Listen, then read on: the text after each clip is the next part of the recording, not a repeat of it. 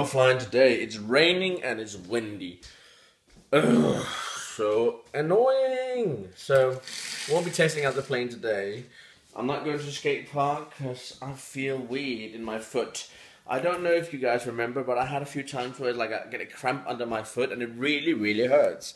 It's been playing up mostly all night, and every time I try to stretch my foot, it's just like a really, really excruciating pain. It's just like it feel like someone is stabbing your foot underneath. It's just like oh, it hurts so bad.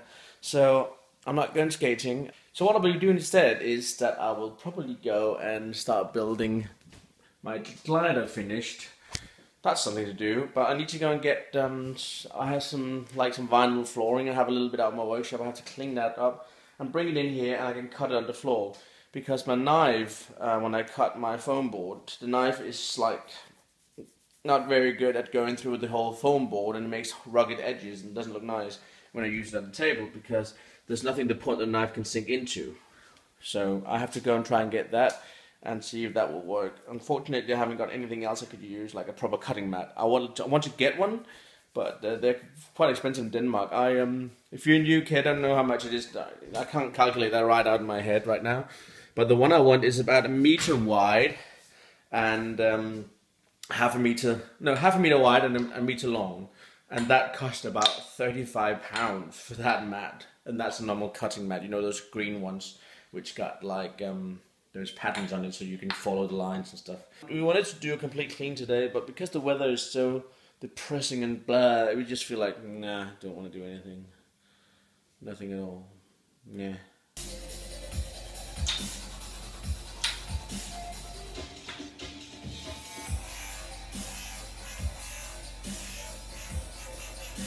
Yay, guys, caught in the rain. We are taking Sally for a walk, and of course it's rain now, but just pure like we're by the shelter area here.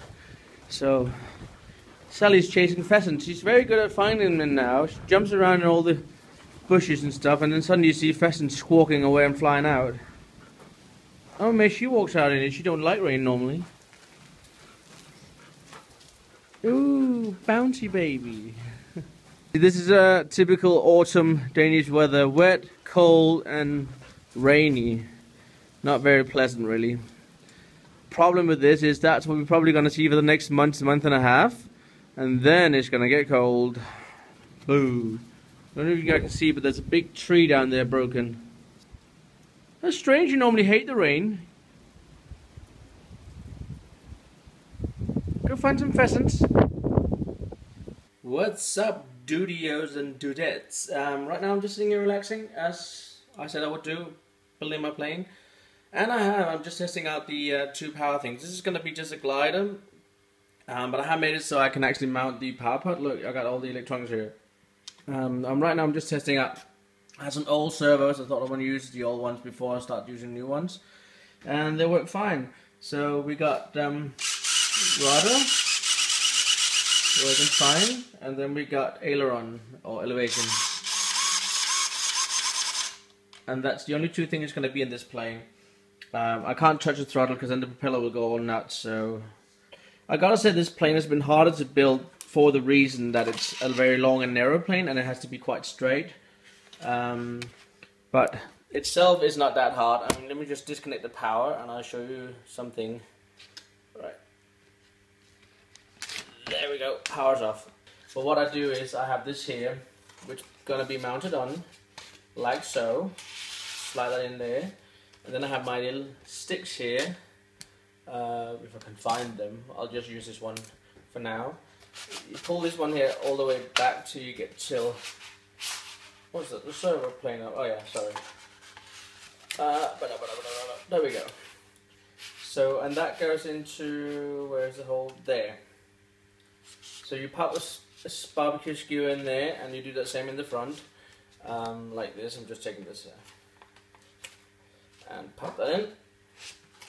And um, then this here is going to be put on with some paper. Uh, I have cardboard to make a nose like this. And when that's going to be glued on, this is supposed to fold out. So when you open this, it'll come out like that. And you can just put the battery in that little hole in the front and then you close it down again. Great progress on the plane. So I will continue a little bit more. I might show a little bit later on how I've done with it when I'm completely done. Right, some some more boring stuff. So that down there has been covered in uh, packaging tape, nice green packaging tape, and I'm just going to decorate this a bit before I'm going to do that. This here is now fitted with um, a hatch, so you can put the battery. The battery is going to go down here. There's like a little hole there. You can put the battery in. I'm going to use like a rubber band to hold it there in place. How I'm going to do that, I don't know find out yet, but what I'm going to be doing now is to decorate this a bit like, I draw some windows on. I'm going to use this dark blue here to make the windows. Also going to put that on top so it matches with um, the whole plane all the way down to there where the window ends. So yeah, that's what I'm going to be doing now. And then after that, I'm going to be securing the, all this piece here, especially the bottom, because that's all going to touch ground with extreme packaging tape. So that's really, really nicely protected. I want to be using that because this is not only going to be a plane where I'm going to have a bit of fun with, but also I hope to use this for a trainer for Paul so he can learn it. Plane is basically done. I got all the electronics for it and ready.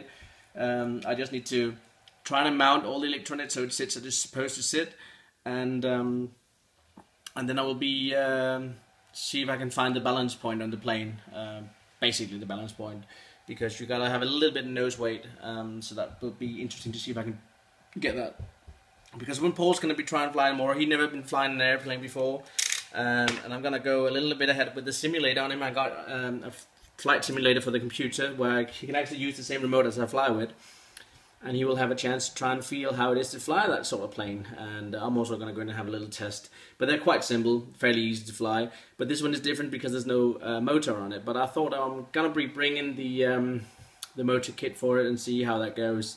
Alright guys, I'm all done really. Um, there's nothing more to it. I added some decals on it, you can see that. Also in the wing standing over there, got some on the both wingtips. And um, yeah, and uh, this is really really cool. You can see how it looks, all nice, and I haven't tested yet with the weight thing, but I'll just add a little bit of weight to the nose, and I can just add a little bit more if I want to. Um, as you can see, I put um, the packaging tape all over just to secure it a bit um, because foam board like out here that's going to be protected by the wing. But foam board here um, is normally just um, paper on top of foam. And if that get wet you know how paper gets when it gets wet. But it is connected now. You can see um, got my remote here. I use a DX8 and uh, yeah water. Works fine. You can see when I move it here. And the same with up and down and to those of you guys out there who doesn't know about RC, up, when you want to fly up, that's down here. You pull back, and that's how it does. And then when you go up,